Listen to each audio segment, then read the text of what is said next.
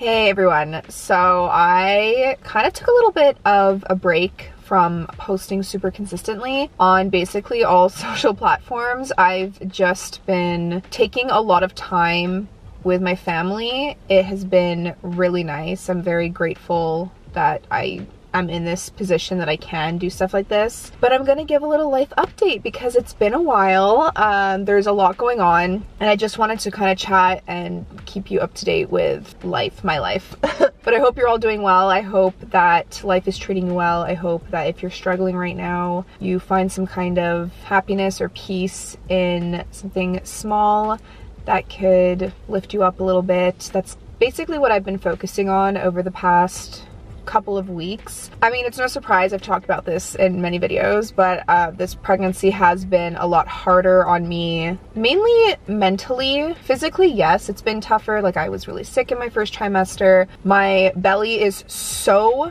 big in this pregnancy. I carried really high with my son, so I knew I was also going to carry high this time around too, whether it be a boy or a girl. Like I just guess that's the way I carry. It's the way my mom carried. But my belly is so big. I carry in front, not really my back, which is kind of nice because I don't have as much back pain. But my shoulders and my chest and just everything feels so heavy.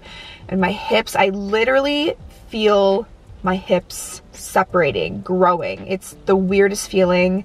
I've had Braxton Hicks this pregnancy, which, well, I think there are. I never had them with my first pregnancy. I just feel like this is completely different and it's very new territory, but also going into it, having gone through two years of infertility and not knowing if I would ever get pregnant again, I feel like I've really tried to hone in on my mental health and make sure that I am okay during this really, really temporary and beautiful, but also delicate phase of my life.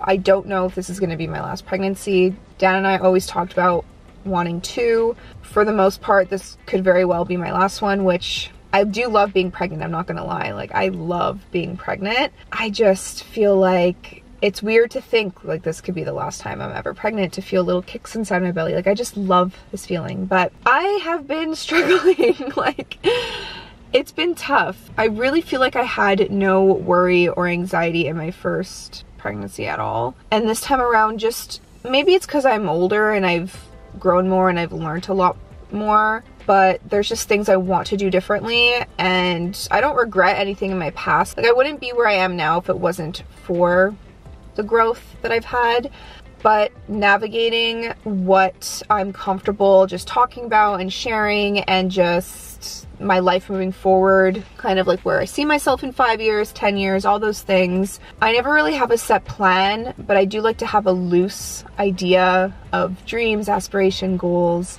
what I want my life to be like when I'm in my 50s and my children are older and I'm sitting around a dinner table. Things like that I like to think about just to kind of get an idea. I mean, obviously life is not guaranteed. It's not predictable, but you can somewhat have an idea of what you would love to see. And so I've been really focusing hard on just therapy, communicating with Daniel. This is the first time ever that we've communicated like so well in a very productive way without like outside of therapy. I've talked about it many times how him and I had done couples therapy for five years. I don't even know what year we started. We basically graduated from it.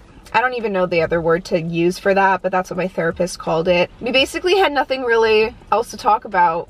And this was at the beginning of 2022. And since then, two years later, we've gone through IVF, we've gone through just a lot of stuff in our personal life that we never really talked about because it was such a sensitive topic. And I knew that when I would eventually want to talk about it, it was going to be something I would want to do with my therapist just because like I'm very sensitive in certain topics in my life and I get very defensive and it's something that I have been working on for a very long time and I'm so much better, but it's still something I struggle with. I don't think I'll ever be perfect.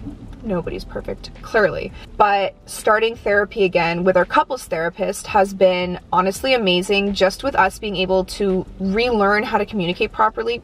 Mostly me, I'm gonna be honest here, like Dan is awesome. He's so good. He always sees the positive in things. Like he really is always so glass half full laissez-faire, like very um, patient. And I'm not, obviously he's not perfect as well, but it's just I knew that it was going to be more of a struggle for myself to like get things out properly and I didn't want to I just didn't know how to communicate essentially. Even therapy on my own as great as it is, it's not the same as when you have your partner there with you, especially with someone like our couples therapist that has been with us for 5 years, seen our growth, knows everything that's going on gone on in our lives, in our relationship. It's just been really really nice to restart that and I feel like I'm in such a better headspace because of it. Don't get me wrong, therapy is very hard at times because well at least for myself, I'm tackling things that I don't want to talk about that make me feel uncomfortable, but it always makes me feel so much better. This is not a sponsored video, by the way, guys. I know a lot of my mental health ones tend to be sponsored, but this really is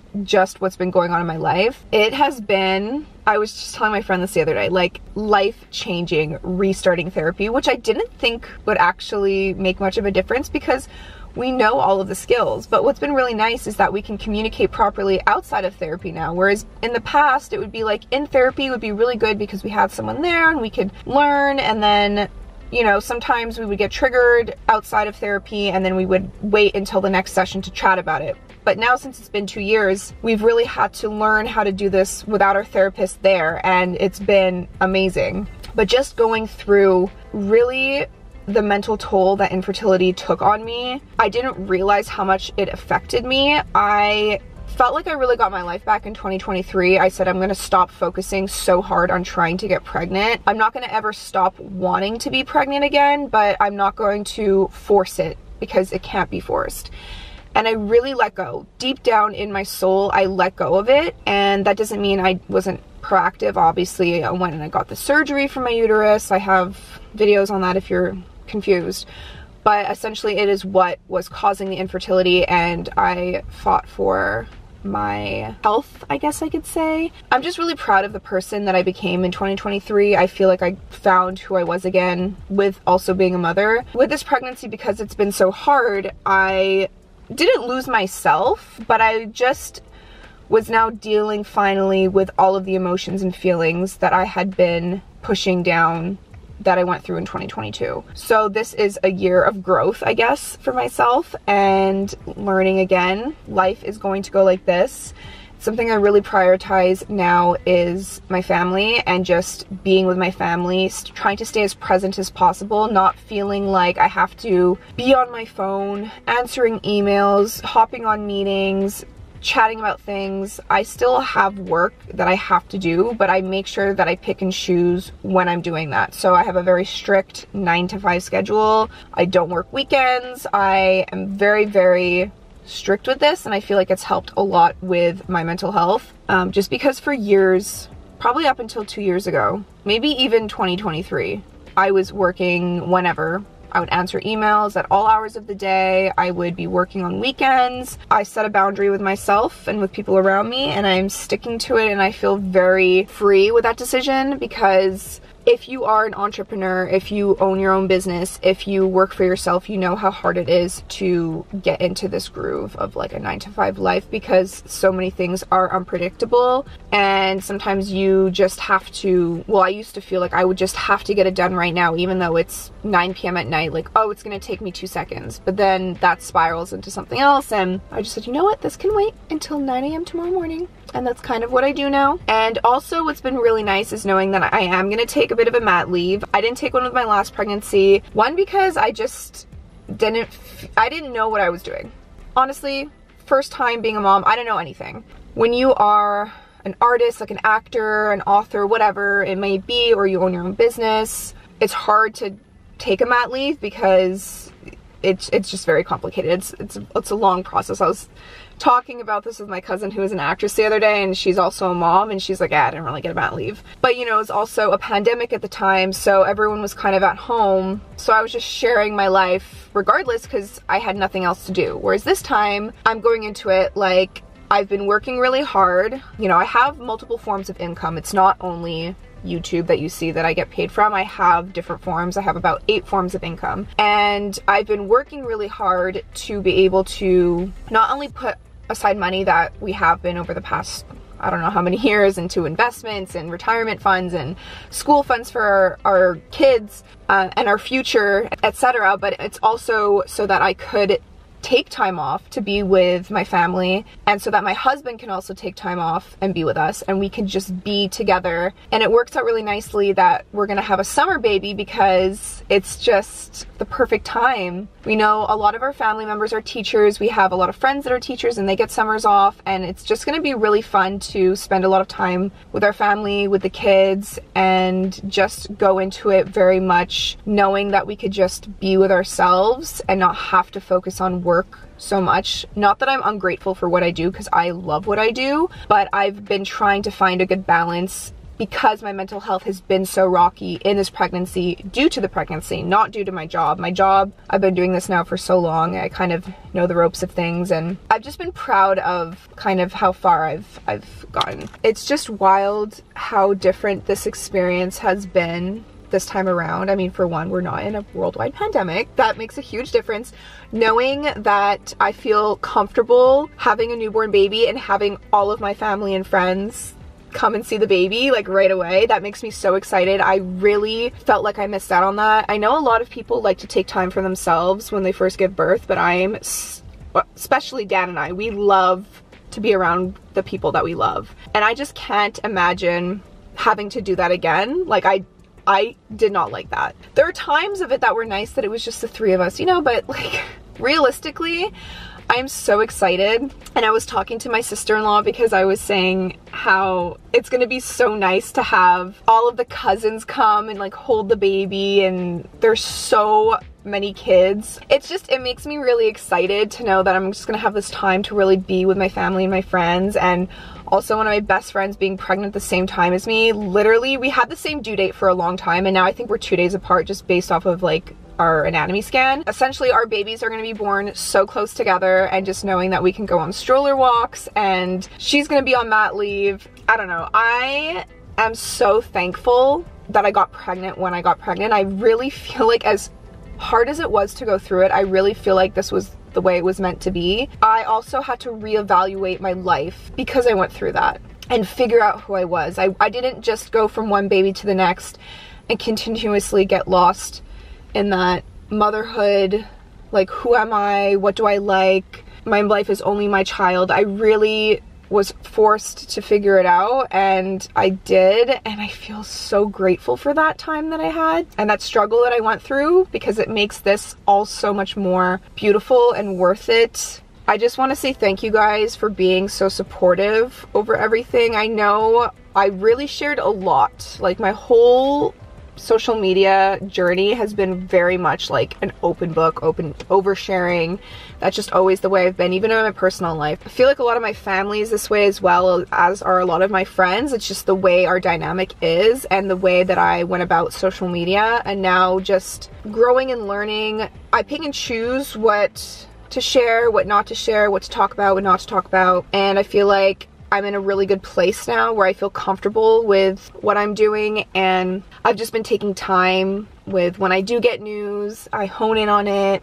You know, like we, when we found out we were pregnant, we waited a very long time before we announced it. Same thing with the sex of the baby, we waited a very long time. I didn't film people's reactions to me telling them I was pregnant. There's just a lot of things I did differently. And although I still do film a lot because it's just in my nature to document things because I love to take photos, I like to take videos, most of them being on my phone. I just don't post it, I keep it for memories. You know, my dad growing up was always filming. He always had the big big camera, you know, those big ones from the 90s. And one of my favorite things to do is to go back and watch all those home videos. We have so much of my childhood from me being a newborn baby all the way up until probably 13, 14, it's when I got my first digital camera and I started filming. We have it all documented and my sister and I would get together with my family and just watch old home videos and it's one of the greatest things that I love to do so I, am very happy that I'm doing the same thing and gonna have that for my kids. Um, it's just a matter of like not just not uploading it. So I I feel like I'm in a good groove now of what my life is, where my life is going, what I'm comfortable sharing, my interests as a human being, not just as a mother. But because I am so pregnant, my life is just very much around pregnancy. and I know not everyone is super interested in that. So at the end of the day, it's a phase of my life, but I'm very grateful to be where I am. Like this is everything I've ever dreamed of. I just, I wake up every morning and I'm like, is this real? Is this actually real? And then I check and I, I feel her kicking and I'm like, oh, it's real. And I just feel so blessed. So that's kind of where I've been the struggle bus of like mentally just feeling a lot of emotions because I'm so much more emotional this pregnancy. Like, woo! I'm very sensitive this pregnancy. Someone will say one thing and I'll want to cry. I don't know what it is. I'll watch one sad TikTok and it'll haunt me for the entire day. I'm naturally a more sensitive person just in general, but like this is to an, a whole other extreme and I know it's the hormones, I know it's normal. The anxiety that I had at the beginning, you know, it comes and goes. I don't really deal with it much anymore. Now I feel a lot more confident in my body and just the way my pregnancy has progressed. Obviously nothing is guaranteed, but I just feel a lot more um, at peace with it than I did in the first 12 to 13 weeks. I'm also so out of breath and I was working out so intensely up until the point that I found out I was pregnant. I had completely switched my lifestyle in May of 2023, mainly for cholesterol purposes. Like I was, I had a plan with my doctor and my nutritionist to get it to a proper level by August. That was our goal, it was like three months, a three month plan. And it actually was very much attainable for me, but it completely changed my life in the way that I felt, the way that I slept, the way that I could move around and I don't know, I just felt a lot better and because I was fitting into all of my older clothes, I got a sense of my style back because I was able to mix and match pieces without having to go shopping because I just had things, pulled them out of storage and I was like, oh yeah, I forgot about this. How could I style this in 2023 versus 2016, you know? And I had a lot of fun being creative and then when I found out I was pregnant and then all the spotting started, whatever, long story short, I just have not been exercising the way that I was. But at the same time, it hasn't really affected me because I go on walks all the time. I'm very active in a different way. Like I'm obviously chasing a toddler. I'm just listening to my body. I'll do some sort of Pilates in my garage here and there, some strength training, very minimal things that I'm comfortable with doing. You know, I just want to make sure my blood pressure is always good. I passed my glucose test. I just, my health is always number one priority. That is the first and foremost. And obviously, I want baby girl to be healthy. I feel like if I'm healthy, as healthy as I can be, then she's also going to be healthy. And that's kind of just what helps my mind keep my mind at peace. And I also give myself a lot of grace. If I don't feel like walking, like today is pouring rain. We had a huge snowstorm yesterday, even though it's April. It's gonna melt all by the weekend, but I'm not gonna go for a walk today because I don't feel like walking in the rain. And I did not have a good night's sleep last night because I was so uncomfortable and could not get comfy and got up to pee 20 million times. so today's just not a day that I'm going to go for a walk, but I might, if I feel like it, if I feel like it. I might exercise in the garage, depending, but I never let myself feel guilty about it, ever because I know that it's a temporary phase in my life. I went through a postpartum already. I know things come and go. I have so much more confidence in myself in being a mother. And that is one thing I'm very excited for is that the first time around I knew nothing. I didn't know what I was doing. I searched up a million courses. I felt like I was so strict with schedules and feedings and sleep because I was like, it's the only thing that brought me sanity and I didn't know what I was doing, what to expect. I didn't know what was normal. Now, first of all, I have a toddler, so this baby's gonna have to be a bit more flexible because we got activities and things to do. Second, uh, no pandemic, so not in quarantine at home for the first year of this baby's life. Knowing I can ask for help and feeling okay with that just makes me very excited because I'm so happy that I had Dan with me through that experience last time because he is so confident in everything he does and literally is just the best dad ever. Like he's so good. I, I always say like I wish he could just open some kind of daycare because I watch what he does with our son, the patience he has, the understanding, the skills he has just with, with teaching in general. He'd be an amazing teacher. But, you know, he has interests elsewhere. He wants to do other things and he is doing other things. So I'm kind of letting him just do what makes him happy, obviously. But it's like, oh my gosh, I wish I had your brain because I lose my patience a lot quicker. I've been really focusing on that, but you know, to, to get better at that. But he's just naturally so good and quick, quick thinking. Like anytime there's an issue, it's like, okay, let's figure it out. And then he finds a solution and it all works out in the end. And I'm like,